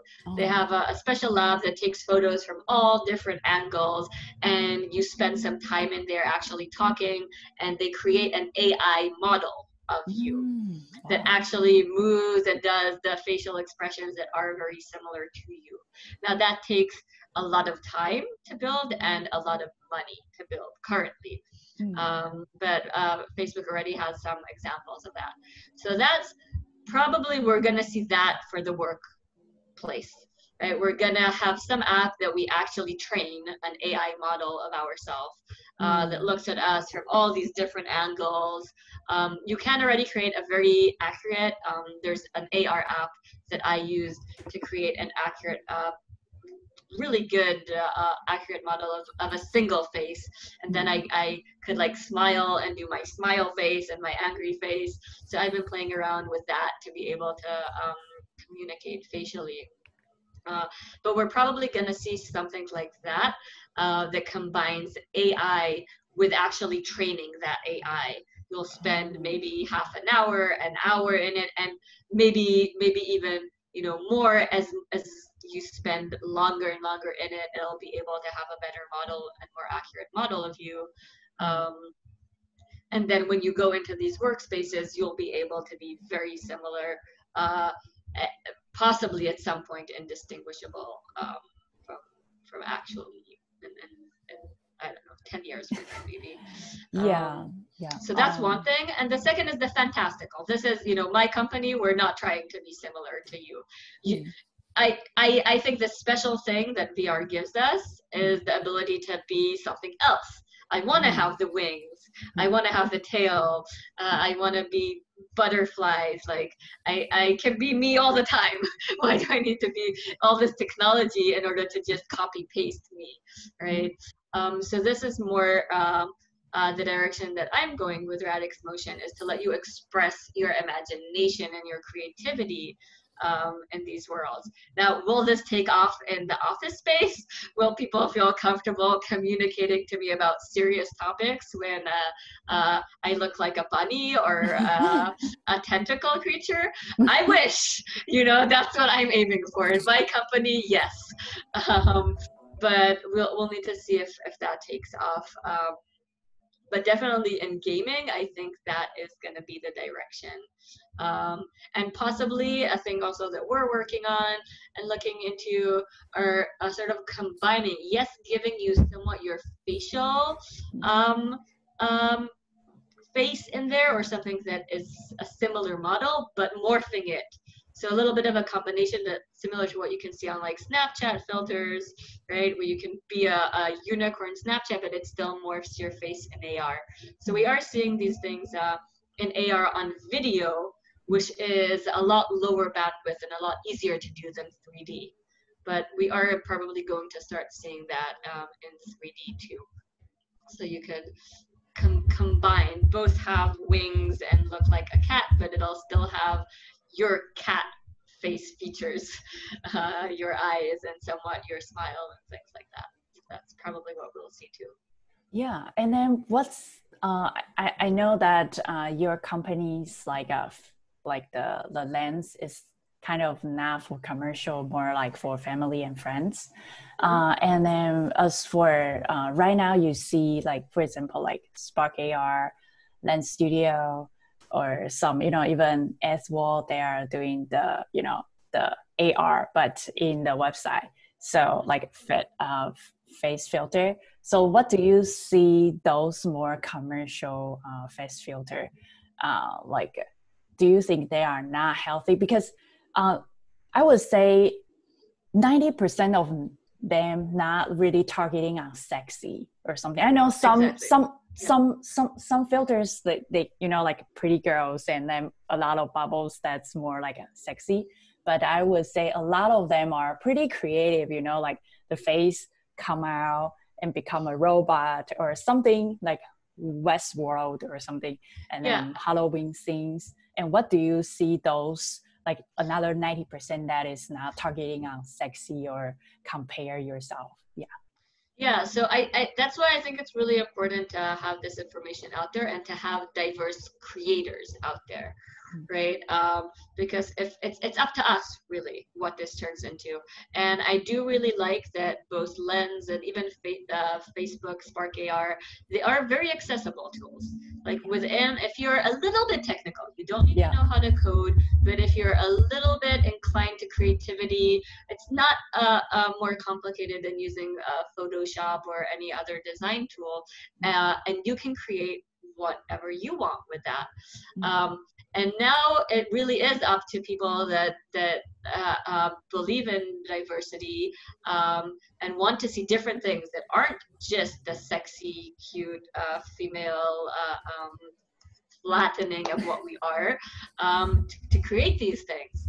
Uh, and it's it's um, we'll see what the market. You know, there is a, still a very very strong market force and and the patriarchy is still a big part of our lives like trying to make us into this um, um, cute creature. And there's nothing also wrong about being uh, cute and sexy and there you know but just as long as we have the choice to be other things too and to be liked and respected for being other things too like uh, um, so it's all about opportunities and possibilities uh, and I think that in general is something that I, I highly support and is highly healthy for our brains to be playing with these things. Um, uh, an amazing uh, face filter that was probably now, my, the, I think, was it China or Russia that made the, the old face filter? I think it was Ch- China, right? Do you remember there was this fad? Everybody was taking. Um, oh, like when you were a baby and your, then of you, your old yeah of your and then you self. slide and then it becomes the old version of you.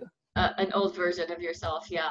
And that also has uh, um, immense uh, uh possibilities in helping you empathize with your older self.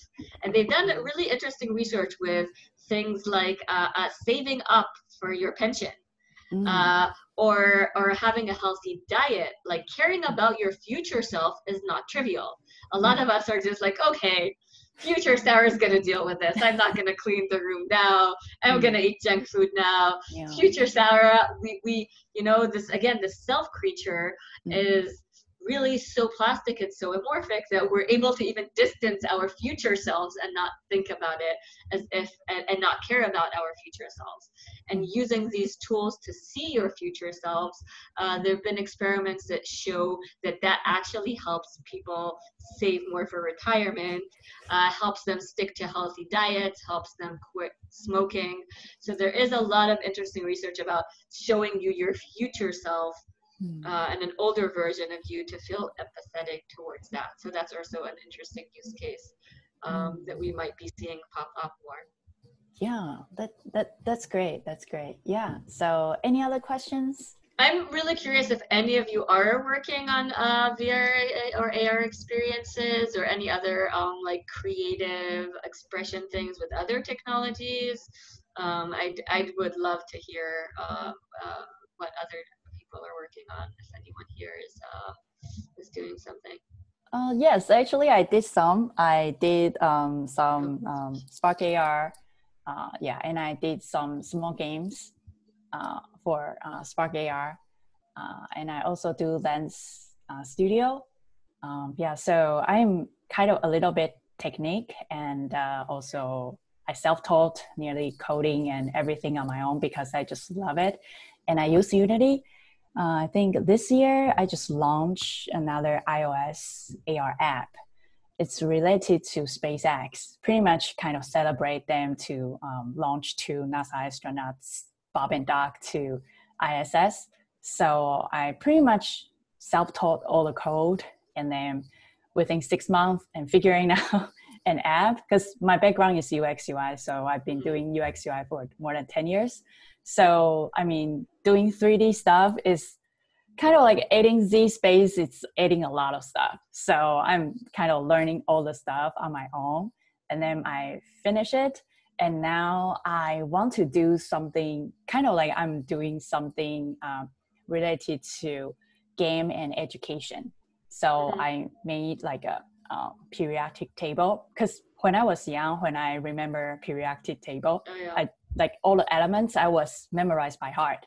But I was thinking about what if I can make some elements that related to story or games. Yeah, yeah might be easier for, for, for, Yeah, I had a very similar idea about um, uh, from neuroscience, the, the neurotransmitters, you know, adrenaline and serotonin and dopamine do something that teaches that with like characters hmm. but it could be very very cute i think yeah to have like a ar characters that are the elements Yeah, for example, similar to um, Pokemon Go, right? Yeah. Because when I because I was a little addicted uh, to Pokemon Go, um, I I memorize a lot of animal like Pokemon monsters. Go. Yeah, people know that. I know my Yeah. little brother knew all the names of Pokemon Go. Yeah, uh, Pokemon, but, but after remember doesn't- it, it's not really helping my reality, right? So what if we kind of change and make it a little useful information, little bit not too useful because people will, will will like, oh no,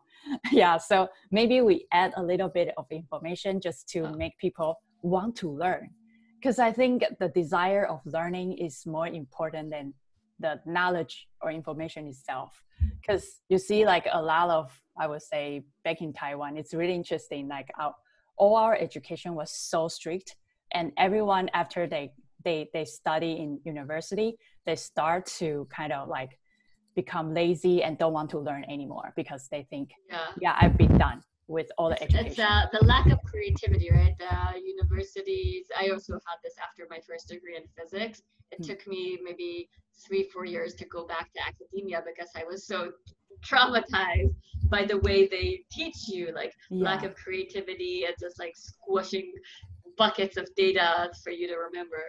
Um, yeah, that that's like a really, really cool idea um, to, to do something like that. It's awesome. Yeah cool anyone Do you, do you, yeah do you find, I just have a question for you, between Sparks AR and lenses, do you have a preferred tool? Which of them is easier or Oh. better? Yeah. Oh, okay. So uh, as for Spark AR and Lens AR, it depends on what you want to do. For example, um, because I uh, I had some C sharp background, so um, and I learned Unity first. Yeah. I learned the hardest one first, so that's why both of them are easy for me after the hardest one. And then what I like about Spark AR is that you can upload uh, uh, the uh, the the bigger Models. yeah the models and they s- partner with Sketchfab, so Mm-hmm. which is great. You just click the library and you drag and drop. Yeah, that's great. And also it has the visual you know visual coding. I mean I I, I, I can code, but sometimes I need to Google and copy and paste. But Yeah. visual coding is like, yeah, it's just like a nod, link nod. Yeah. So I think the interaction is really easy to use. And Spark AR, they have a super strong community in oh. Facebook. Yeah, and they have someone to kind of feature this tutorial. Before I was like compete with the tutorial because I for, for me I like to learn something for four hours and after four hours I start teaching. Amazing. So Yeah. so my brain is fresh, right? So I can learn a lot of really hard stuff within eight hours. Yeah, like Saturday or Sunday. So Yeah. I, I just like learn everything really fast just by like learn four hours and teach back right after learning. So I create a lot of tutorials. Um, and the one one thing that I found is that Snapchat, I don't know whether it is because of the policy is so strict.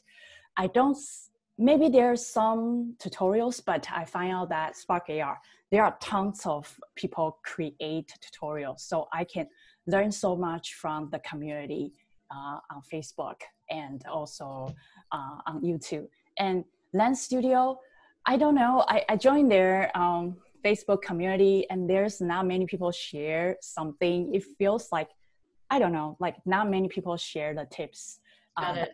that's one. And then another one is um, Lens Studio. You probably, if you want to cut, like they are too customized, right? Um, it's for people who don't really know anything. But if you want to customize something, you need to Oh, be an expert. I You need see. to be. There's no middle. You're either Yeah. a beginner or expert, but no middle. yeah so yeah so and uh as because i am not good at 3d but there um the whole file needs to be 4 mb so Mm. i create a really happy bird like dancing That was like too big. there's like a three yeah yeah it's like a more than 4 mb so that's why i was so frustrated. And yeah and then the the polygon size. Yeah so i think facebook is much more friendly and once you published because nearly everyone has instagram or facebook. So nearly everyone can see it. And snapchat is probably more like limited to young generation. And then if you want to put like a 3d model in you have to know how to reduce the polygon and texture size. Yeah. yeah. Yeah, thanks for that overview. I've only used uh, Spark AR, so that was uh, uh, really interesting. Yeah, before we had another podcast to like, uh, you know, Foundry Six, and then I think, uh, do you know Frank Shi? Like those two are they, they are the master of mm. one one company's master in uh, Snapchat. Like mm. they are even Lens Studio partner. Yeah, they, okay. they, they, are they, they are the expert for uh, Lens Studio Another one is for uh, the master in uh, Spark AR. So we have two. They were fighting and wow. see which one which one you want better. to. Yeah. Interesting. Cool. Uh, any other questions? We still have around 10, 10, 10 or so yeah. minutes. Or anyone else want to share a project? Let's yeah. see. We're getting a long question here. Read the yeah. question. Uh, just me. I can't tell only one off of the uh, microphone or not. Um, also, my internet's very slow, so it's probably going to be a, a, drawn out, really whale speech uh, internet. But um, yeah, well, so we do not have a, I do not have a project in progression, but a lot of thinking about dancing, in particular partner dancing in the virtual world because it's super. I think both both of us, in particular, Brigitte, is like you know she's deep in the dance world, like super deep, so deep that when it's a virtual pandemic, it's like uh, it's world breaking. You know? So how do you continue to deliver this type of content? And yeah, Zoom is kind of tough to teach uh, teach true dance. So so what the what the best uh, right? So in, in in my thoughts, I've played around some with the Oculus Quest and. Uh, even their little um, tutorial, I don't know, the first steps tutorial, you like dance yep. with a little robot. robot like yeah. actually yeah. Until until you realize that he's not really, really, really like uh, responding to your movements. He's got one of three choices, whatever. So part of you know part of my fascination is like how how much more sensitive can we make that right? And and can two people with headsets oh learn dance online, Steezy, nice. So Steezy, I think I was looking at something similar, but so so I have seen a, a friend has a, a project where you can you can dance and try to copy the video on screen and it will identify your your body vectors and kind of map them yeah. out on um, and so that's cool. seems seems kind of promising if maybe two people with their own headsets were going to dance with each other in different countries or something um, but yeah that's I, would be curious to hear your thoughts on what what the long list of roadblocks is between uh, body sensing technology yeah. and maybe some of it. Yeah. So so when it comes to uh, things like uh, um, uh, that you're doing in front of a 2D screen and a camera, currently the best technology that's out there is able to only do 2D pose uh, recognition actually. So it's not, uh, it doesn't actually know the depth of where you are. Um, I know this because we're now trying to use this too. Um, it's called PoseNet. It's open source um, from TensorFlow. It's pretty easy to start playing around with to create your own things. But that is a the limitation is that you're getting the the 2D, not not like the distances uh, in 3D. Um, and um, that if you're like using mobile and stuff, it's going to be pretty slow. Uh, so you can only get a few frames per second um, on, on that type of technology currently. Um, now, when you go into VR, the limitation is the amount of sensors. We have head and hands, right? This is what we're dealing with in Meu. We don't have feet. Um, what we are seeing that's really interesting um, is in VR chat, uh, if you're using the Vive, it does support um, other uh, sensors. The Vive has like extra sensors that you can wear. VR chat might even support um, like uh, external suits that have pose detection um, um markers on them. Uh, but generally, VR chat has. I've been trying to break into that community of like they do mostly breakdance VR chat like breakdance competitions.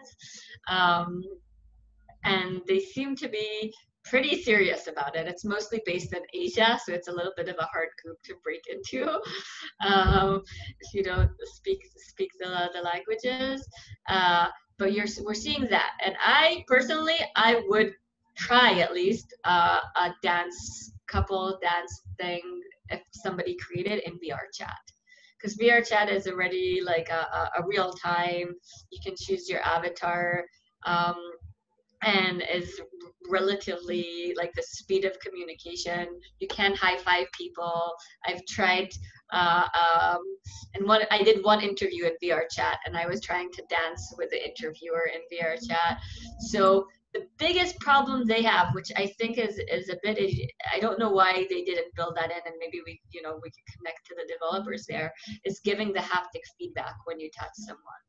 Um, like in Meu, uh, when you're touching the avatar, you get a vibration. So you know where they are in space and you can follow.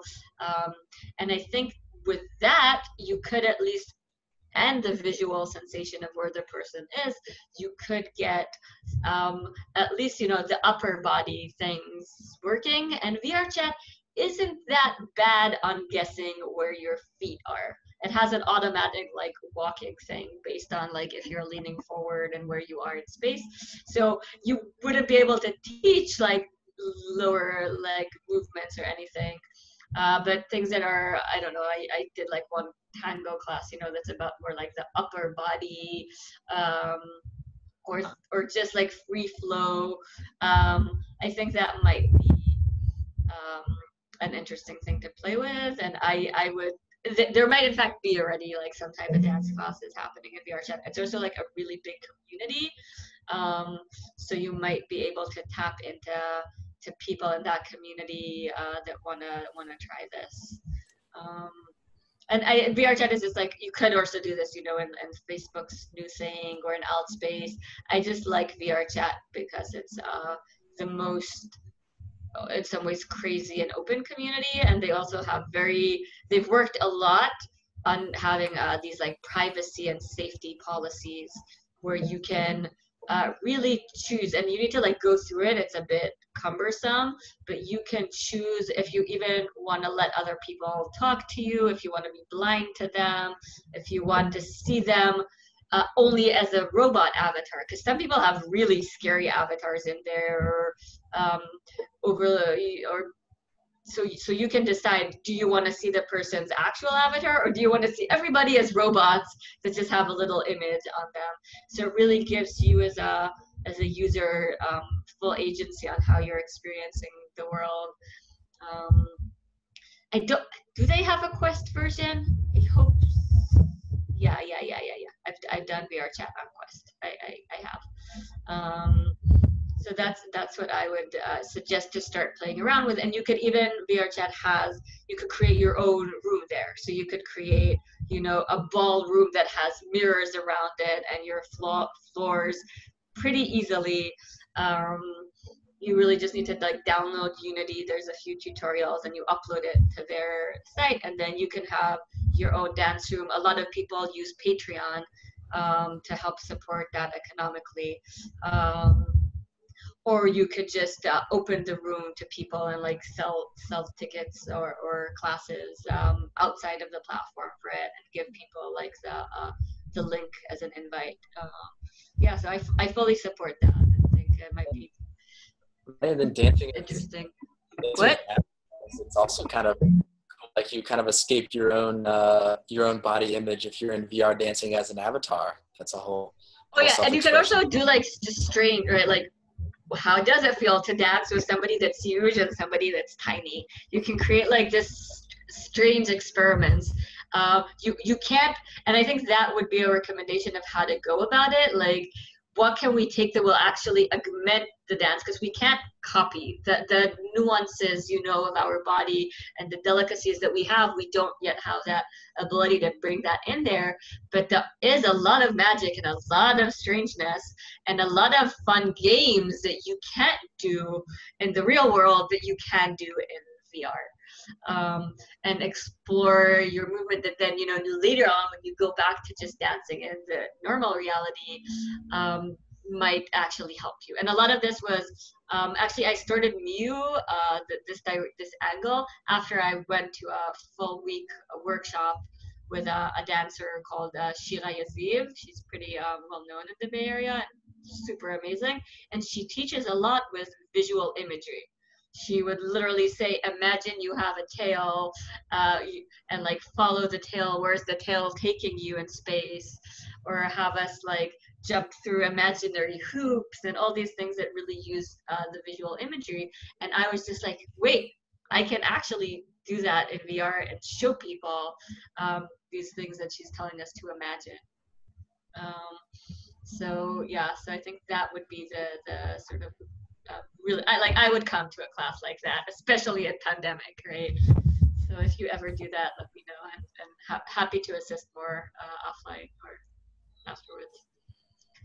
Cool. Yeah. Any other questions? Okay, maybe yeah. One last question, and then yeah. Uh, last uh, I have a question. Yeah. Uh, I guess two people have a question. So when it comes to okay. last questions, I don't. Okay, know. we can do two. We can do two. Okay.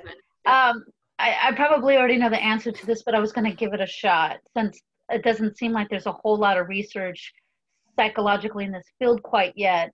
Um, my question is, especially in regards to VR work and empathy, uh, when it comes to sociopathy, uh, the, the, the neural pathways to empathy does not actually exist in the sociopath's brain. So therefore, I can't imagine uh, the relatability between an avatar or any other aspect other than trying to gauge them at an intellectual level as you would try to explain it to a computer would be very useful. Is there any work in regards to how to maybe possibly use VR to start sparking or reconnecting uh, uh, the uh, the pathways uh, to start reaching people with sociopathy, especially in children, before they become to the adult, where they become exceptionally manipulative, sophistic- sophisticated in manipulation to fake empathy and then manipulate others uh, as a groundwork be- before they become leaders in society etc. Yeah, yeah good, it's a great question.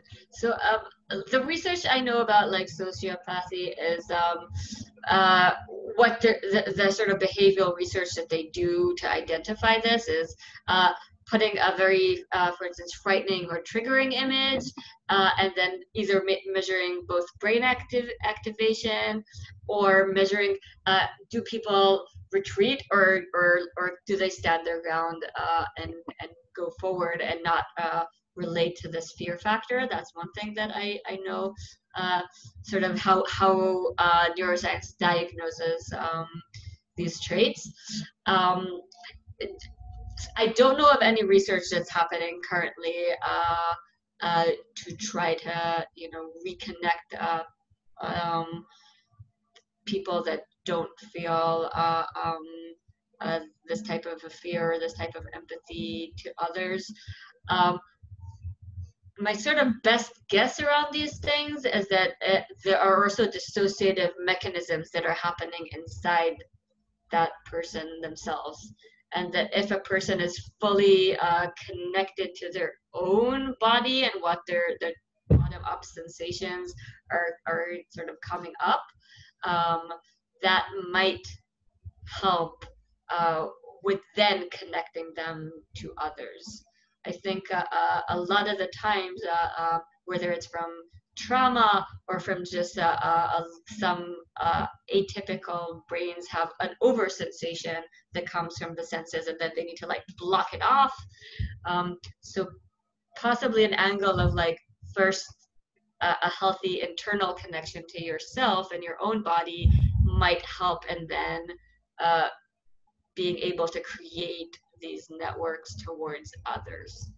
But I don't know of any research around that. Thank you so much, Sarah.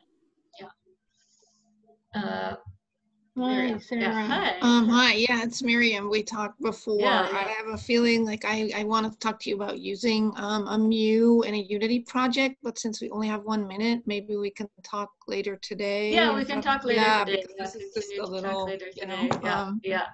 yeah but thanks for this. Um, this was awesome. Thank you, Dominic, also. And I don't know, um, I also gleaned that you made a project um, in VR, I think, about showing how the brain works on psychedelics. I don't know if you want to close with that. I'd love to hear. Uh, yeah, so I'll close with uh, not, a little bit I could share about that, but also close with um, some resources that people can post. And I can share, we can send out, uh, um, uh, hopefully has your uh, emails and we can share all the links uh, and the presentation with you so you can reference it and, and look at the references later. Um, but you can download all of that view is totally free.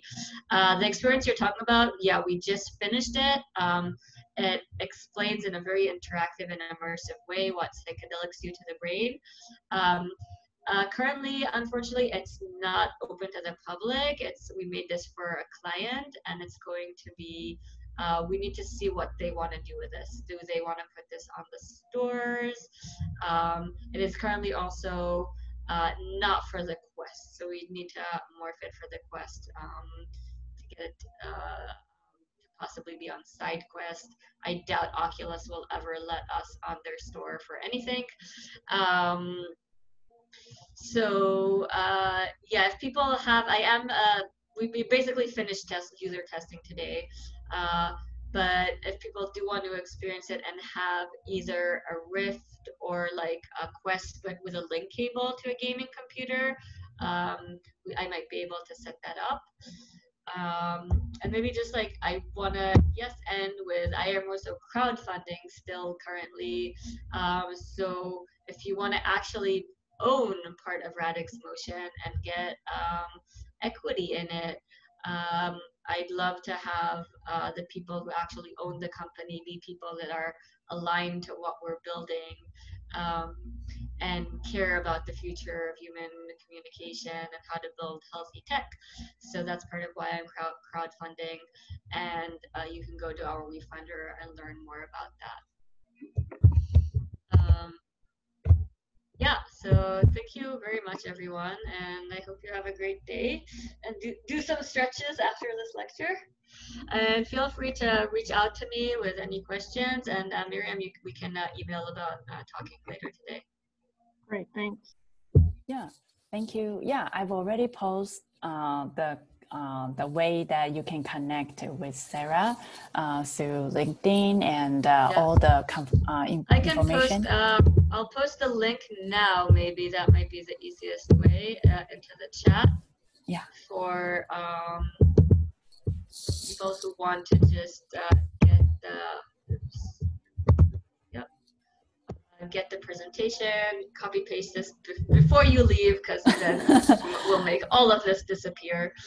Um, uh, yeah, I will post on the Discord. If you want to join our Discord, you can uh, go can go here. Yeah, I, I, I storage everything in the Discord. So oh, if you great. want you to, you can also save the chat by um, pressing on the three ah. dots next to oh oh yeah, it's a soup chat. Oh wow, I didn't know that. Yeah. Good to know. Yeah, cool. Yeah.